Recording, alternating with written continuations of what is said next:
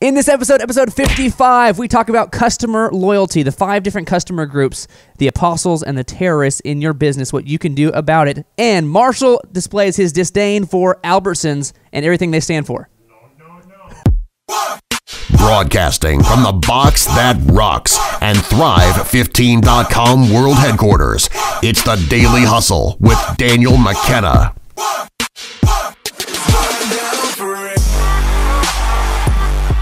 What is going on, ladies and gentlemen? It is episode 55, 5, 5 Double of the nickels. daily uh, d- double nickels. Double nickels. Wow, wow. Um, I appreciate that. Uh, I'm just trying to break your frame before we get going you here. broke you broke the rhythm a little bit. We'll just. Mm. Hello, everybody. Welcome to episode 55 of the Daily Hustle. Over to my left, Marshall F. Morris. Over to my right, there's a there's a soundboard, and uh, sometimes Sam sits here, and I'm Daniel McKenna. Uh, this is the customer loyalty, identifying apostles and firing terrorists episode the five customer groups. In yesterday's episode, we talked about this just a little, and it piqued Marshall's interest. Marshall wanted to get into this. Uh, Marshall, before we start talking about it, why was this something that that stuck out to you as like, you know what, we should do a specific episode just about this? Um, because the one of the big uh, mantras, one of the big uh, maybe principles that I'm going to wreck today is a lot of business owners, not you people, other people, not you business owners, other business owners. Other business owners might believe that all customers are the same. And that is not true at all. There are different kinds of customers, and today we're going to get into it. Sorry, I felt you getting passionate. I went ahead and wanted to get you some background music. Yeah, I got passionate and then I just went off the cliff. Went off the cliff real quick. Okay. Um, this is the 55th episode. So, Marshall, I'm going to let you choose. Is this the You junior? already know who I'm going to choose. I think I do. But I'm going to give you some options here. Is this the Junior Seau, the Orel Hershiser, or the Dikembe Mutombo episode? Dikembe Mutombo episode. Okay, well, because you chose that one, you get to pronounce his full name. oh gosh. You get to pronounce his full name, and then I'll get into the stats here. Uh, give us Dikembe Mutombo's real full name. This is so good. Dikembe Matumbo Mopolando Makamba Jean Jacques Wamutambo. that was really good, actually. That was really good. That was impressive. Um, man, that would just seem like it would take so long to introduce yourself. I think you probably made the smart move by shortening it down just a little bit. Yeah. So that's his full name. Um, he had a stellar 18 year career, ranked second all time in career blocks, all time, all uh, eight time All Star, Defensive Player of the Year four times, reached the playoffs 13 seasons, and he wags his finger every time you get a block shot that and you wag your finger. That's a Mutombo. You know about the Mutombo. The, you you just I want everybody to practice this with me right now, wagging your finger back and forth. Just j- just whoever whoever No, like no, if no. you're if you're listening while you're driving, Clay No, Stairs, no, no. Clay Stairs, That's what if he would you're say. driving right now and somebody wants to move over, you just speed up right now and you just wag your finger at You them. say like no, this, no, and then- no. he had a much deeper voice than that, but he would say that. In fact, they changed the rule. You can't stare at an opponent and do that anymore. Mm, They changed the rule because of Mutombo. mm. Now you have to like now you like look out into the crowd and you that sort of thing. Like you're telling Yeah. the crowd no, but really you're you're thinking Yeah, they know. they know. they know. Okay, episode 55, the Dikembe Mutombo episode. Let's go ahead and dive into this here, Marshall. And we're going to talk off talk about some wrong assumptions that management might have. Mm. Again, this is from the Service Profit Chain. If you don't didn't notice, it's like we're reading the book to you, Service Profit Chain. We're presenting it to you in a more entertaining form um, than you would get otherwise from reading the book. Heskett Sasser, uh, what's the last name on there? Uh, Schlesinger Schlesinger et al. et al. Et al. Okay, those are the authors there. Um, number one, number one. Here's some wrong assumptions here, and then we'll get into it. Number one, it is sufficient to satisfy a customer. It's wrong. Do you feel like most uh, management, that's kind of like where they set the bar? Yeah, they set the bar. Hey, we satisfi- satisfied the customer. We told them we'd do this, Good job. We did it. and we did it. Mm. We told them we'd be there at 10. We were there at 10. Yep. We told them it would be done by the 5th. It was done on the 5th. Yep. We satisfied the customer. Yep. Good job, everybody. Yep. Okay. Number two, the investment required to cr- create completely satisfied out of merely satisfied customers is rarely worth it. Mm. So they're saying, yeah, we could, you know, turn these merely satisfied customers into completely satisfied. We could probably, but it would take some investment. It would take some time. It would take some money. It would take some focus. The payoff's not there. We're doing a good enough job. We're delivering services as promised. Yep. They may have been a little bit bummed because I got my uh, my custom thing I ordered from Europe three months late. I can't. I can't. I don't know that that cla cla- I don't know if that clarif- like counts you as merely satisfied. I don't No, think you're in the merely satisfied I'm category. completely dissatisfied. Anyways, um, but exactly right. This is a uh, this is a wrong assumption that the investment c- required cr- to create completely satisfied out of merely satisfied customers is rarely rarely worth it. Okay. And number three, efforts to improve satisfaction should concentrate on customers in an organization's lowest satisfaction cate- categories. They say, we got some customers that aren't happy about this. We got some customers that aren't happy with the thread count on these sheets. We got some customers that aren't happy about us closing at nine. That's where we should improve our satisfaction. And maybe that's true. But let's let's dive into that a little bit. Okay. Um, those are the, the if you're taking notes at home or mental notes, or maybe you're you know, you're listening to this and you're Snapchatting it to your friends, to maybe like your family or something, you're immediately like, hang on. And you Snapchat it and like, don't forget this, but then you forget that Snapchat goes away and then they're like, Well, I think that was cool, but I didn't really hear what you said. I didn't have my volume on. Um, Billy. so you should probably just be taking notes. Those are the three incorrect assumptions. Let's dive into the five customer groups here, Marshall. Marshall, I know this is something you are particularly passionate about. Yes. This I is am. something that gets you revved up. revved up. This is something that, you know, you start talking about customer groups and, and Marshall's just like Oh, Billy. He's just really excited about it. So Marshall, go ahead.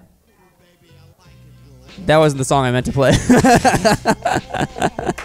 that wasn't the, that that song that doesn't even make any sense in I context. I want I want to I want to throw it back real quick. I'm, I'm going to throw it back to what we were talking about yesterday, and we were talking about differentiating uh, employees. Okay, Jack Welch is talking about differentiating Mm. employees. Yep. and he says that differentiation is not something that had to be taught. Okay. It's not something that you had to uh, like work through and learn over several years. It's something that you are th- that you learn on the playground.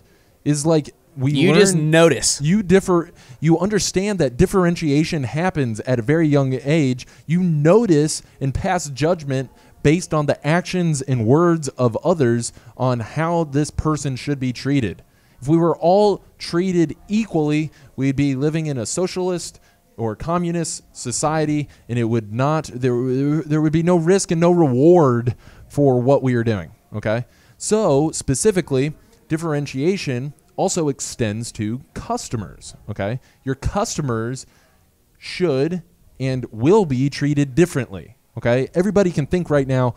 Oh my gosh, there's this one customer that I love doing business with. If they gave me 10 times more business, I would take all of it. And uh, in fact, I would drop other things that I'm doing to take more business from this customer. Okay, so that's one type of customer. And then everybody else has this kind of customer. Okay, they're like, oh my gosh, I don't know why we keep doing business with this person. They are constantly a headache, and I cannot stand them. In fact, I hate their dog too. Okay, so so that we all have that customer as well. Okay, they're not profitable. They take a ton of time. They create these headaches. I hate their dog. I hate their dog's dog. I just like I hate- multiple generations of dogs. that's right. Okay. Um, but everybody has that customer. Okay. So what we're talking about here is there the the service profit chain has identified these five different customer groups, five different customer groups in which your customers will fall in. And so I've had my coaching clients actually go through the process of identifying which customers fall in which one of these categories. And so as we go through this, I want you to think to yourself, okay, that defines this customer that I'm currently working with. Okay, so whether it's uh, tens, hundreds, thousands of customers that you work with, I want you to think of yourself what would be an example of one of these customers that is applicable for your business, okay? Okay. We're going to go through them. We're going to go through them uh, all here and uh, we'll start with the very top level, number 5, okay, which are apostles, okay? Apostles. Sure. Do you know what an apostle is, Dan? Are, are you familiar with this word apostle? I, I have heard of this word. I know how to spell this word. Okay, you know how to spell this word, Yep. it- which which might be more than most people. Um, Go ahead and go ahead and give us what is what are we talking about when we say there's five customer groups? We're taking all of our customers, we're segmenting them into five um, specific groups, Mm-hmm. and we're saying at the top of the heap, five stars out of five, apostles. What are, what are we talking about? yeah, so so the apostles are the people that are going to irrationally continue to promote and refer you more business with no expectation of getting paid or incentivized. They just do it because they love your product and your service and they love how you do it. They're all in on the mission, they're all in in the why. You would take 10 times as many of these apostles. This is the most desirable type of customer that you have. This is what an apostle is. This is at the top of the heap. This is- represents somewhere between 10 and 15% of your customers. One out of 10 of your customers, they are like this. They refer you more business just because they love doing business with you. Probably means you made some sort of emotional connection. Probably means you wowed them some way along the way. Probably means your quality is really good. Probably means you delivered on time. Probably means that the price the price might have even been a little bit more than they wanted to spend, but they're happy to spend it because of how good the experience was. This is your apostle. Bottom line, you have wowed them and you have exceeded their expectations, okay? They are not only completely satisfied, that's important, they are completely satisfied, and you have gone beyond what their expectations are. So therefore, they feel indebted to you. The law of reciprocation, and talk about that. The law of reciprocation is you have created so much value for them that they want to find some way to reciprocate for you for what you have done for them. Okay? So they translate that into sending you more business. That is what an apostle is. This is what we're talking about. The number five, okay, number five, apostles. Okay, so the, for the people keeping score at home, you ever hear baseball announcers say, "For the people keeping score at home," like people used to like just sit around and keep score, like who had a hit, Yeah. where fielder, fielder three to one, ground out, and now we have like computers that do that for us. So, um, side tangent. Four, number four. We said five was apostles. Five out of five stars were the apostles. Let's talk about just under the apostles here. Let's talk about the number four spot, the loyalists here, Marshall. Let's talk about the loyalists. Okay, so the loyalists are going to be people that will continue to do business, and it's exactly as it sounds. They are loyal to your particular product or service. They loyal, they continue to do business with you, and they are completely satisfied, but for whatever reason, they will not tell their friends and family about you. Okay? So a good example of like a like um uh, the difference between an apostle and a loyalist. I am an apostle for QuikTrip. Really? Yeah. Anybody that is like out of state, they're coming into Oklahoma uh, and they're visiting or something. I'm like, before you leave, please promise me go to QuikTrip. You love it that much? I love it that much. It's a convenience store. It's a gas station convenience store. It's amazing. Yeah. But it is literally one of the best customer service experiences that I've ever had. Okay, so big shout out to D'Angelo, D'Angelo Bell. He actually came out to a conference. okay? Really? I see him uh, over at QuikTrip. He's one of the fine folk working the QuikTrip over there at Delaware and Admiral. It's Oh, just okay. incredible. He does a great job. His uh, and his general manager, I, uh, I- I- uh, the name is escaping me. Bill the general- Swanson. Bill Swanson. Um, I, I don't think it's Bill Swanson, but uh, but big shout out to them. I am an apostle for QuikTrip. I love QuikTrip. I love it. I love it. I love it. So the big difference here is the fives, the apostles. They're Yep. going to go ahead and tell everybody about it. Yep. They're going to be like, "Man, bam, te- you got to go to QuikTrip. Yep. You got to go here." Yep. Whereas the four, the loyalists, they're like, "I'm going to QuikTrip," Yeah.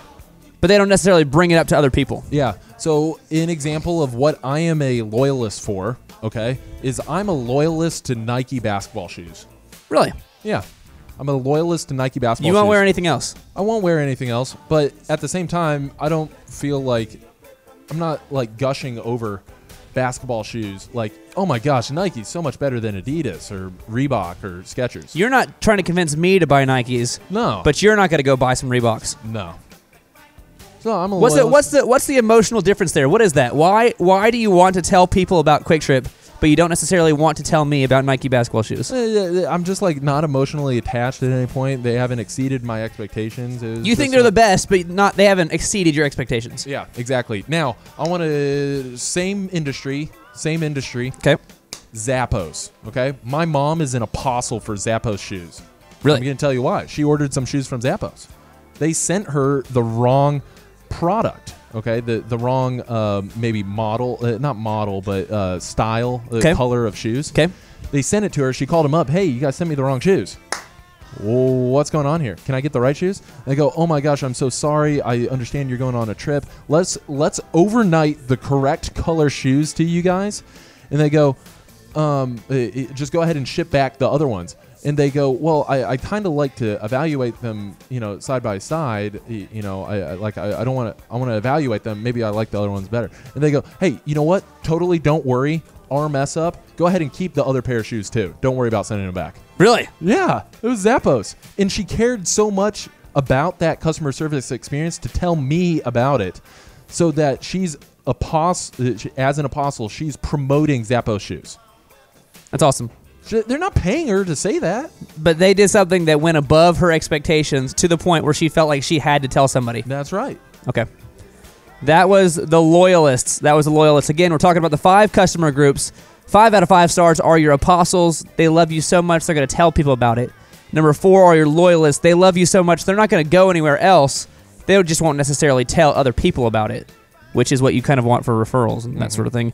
And number three, we're going down the list here in uh, descending order. Number three, your three stars out of five stars.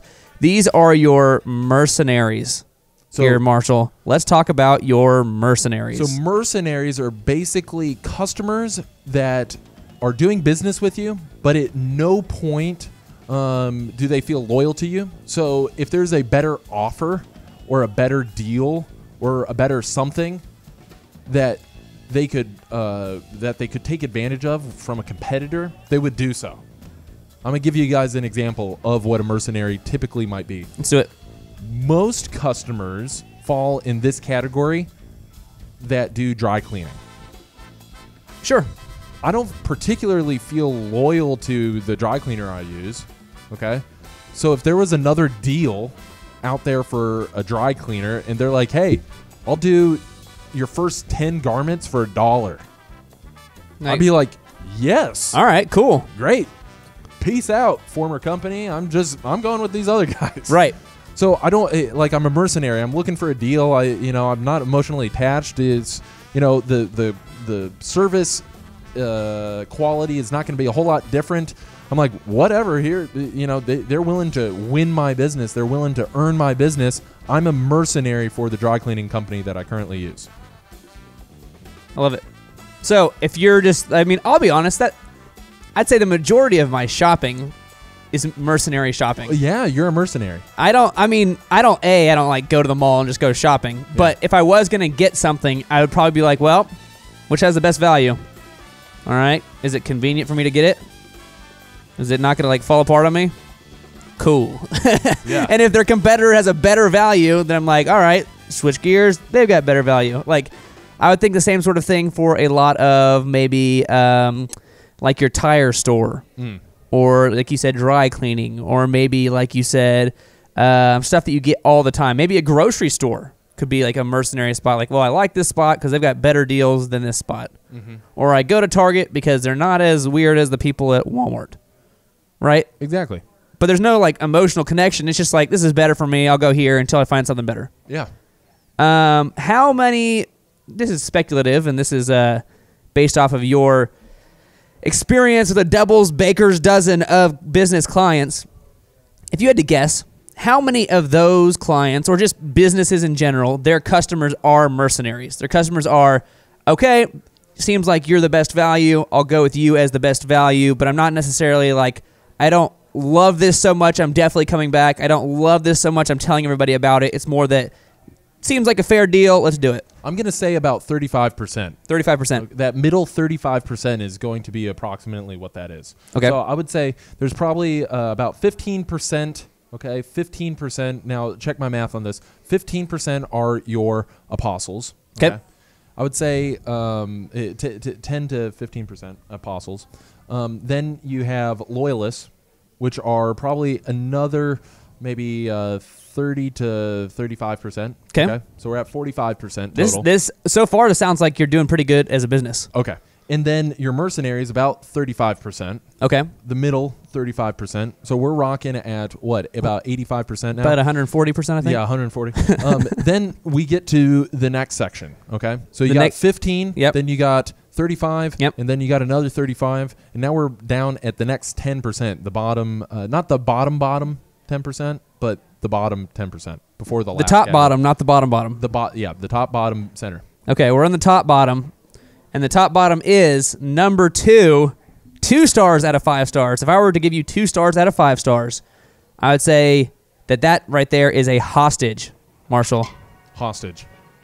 We got some, uh, we got some let's go crazy going on in the background here. I like that. Um, That's hot. what is a hostage? Why is a hostage different than a mercenary? Okay, so a hostage is different than a mercenary because the hostage is only doing business with you because you are the only game in town. You're the only business that can currently fulfill the need or product or service that you need, that you're looking for. So you're the only game in town, so they don't particularly like doing business with you, but they need they have a need and you fulfill it. They don't even want to do business with They you. They don't want to, like they have to. This is literally the only dry cleaner I have within 12 square miles. I'm going to keep, even though they sometimes lose my shirt and they sometimes don't clean the stains. It's just like I have to keep using them and I hate it. I hate it, but I have to, so I'm going to go ahead and keep using them. That's right. These are the hostages. That's right. They're held against their will to do business with you. Yeah, they're just like, ugh, please, somebody else open up a business. What is what percentage of customers here? We're talking about a, you know, a, I mean, if if 35% are loyalists, that's pretty high. I mean, mhm. it just means you're doing a good job. As you're a solid business. You don't suck, Right. Right. What percentage of this business, if it doesn't suck, are hostages? I would say about 10%. About 10%. Yep. So there's about 10% of their of your customers at home that don't even want to do business with you, but feel like they don't really have a choice. In these percentages, these percentages, I would say is the bell bell curve. It's the, nor- the it's the normal. Yeah. Okay. This is what you want to aspire for. Okay. This is what you want to can aspire fe- for. You you can feel good about these percentages. so it's possible and likely that other businesses hostages are like way higher than 10%. Very possible that are much higher than 10%. Okay. These are people that don't want to do business with you but feel like they have to. Um, before we get to this last one, how often do you feel like during the course of of the business exchange, do they go up or down this scale? Is it like a one time I'm set in, I'm stuck at hostage, and I will forever be a hostage, or can you maybe somewhere in the service chain do something that makes me go up to maybe a mercenary or go up to maybe a loyalist? Or what's the what's the deal here? Can I move up or down this scale? I'd say every transaction that you have is an opportunity to go up or down.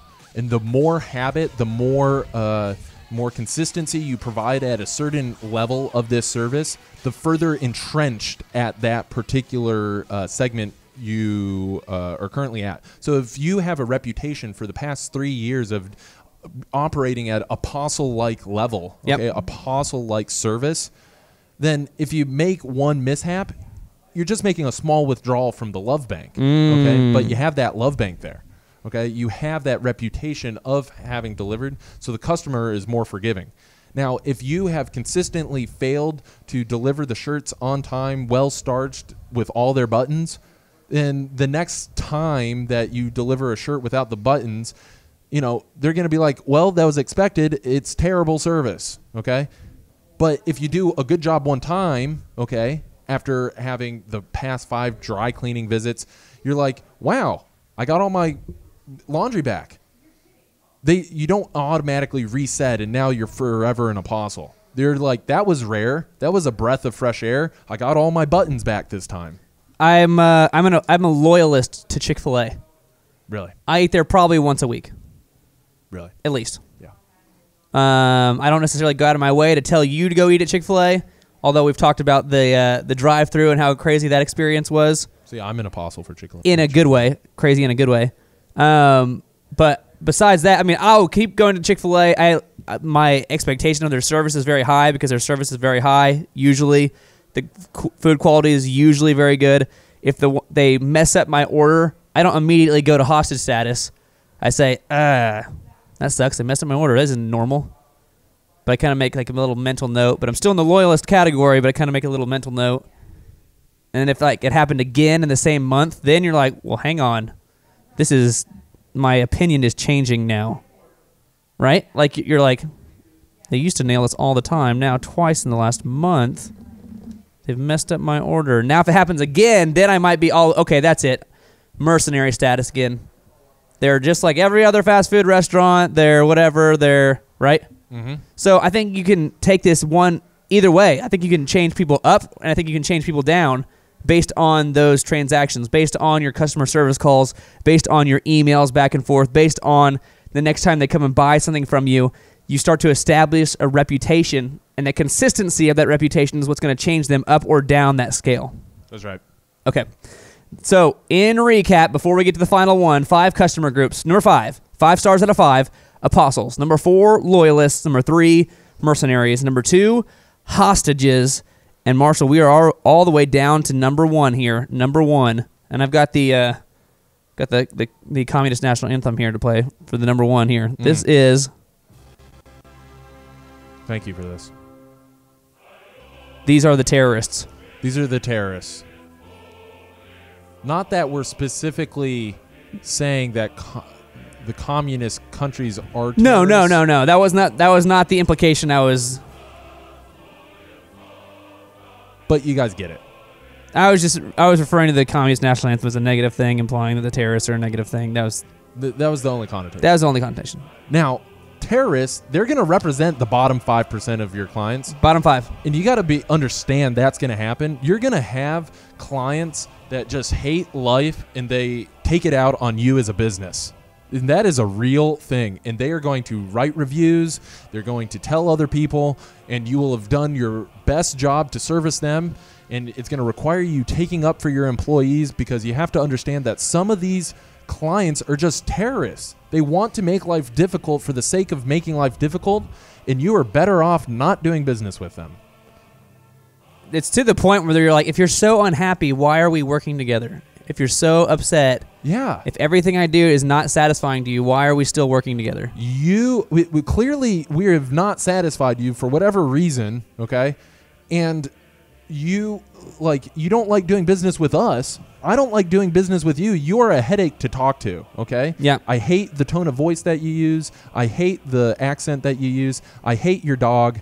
Just like And your dog's dog. and your dog's dog. Yeah. Just like, why do we keep doing business t- together? Okay. So uh, we'll talk about different strategies on how to mitigate the risk, how to mitigate, how to compartmentalize uh, these terrorists and what you should do about them in the next episode. It's going to be awesome.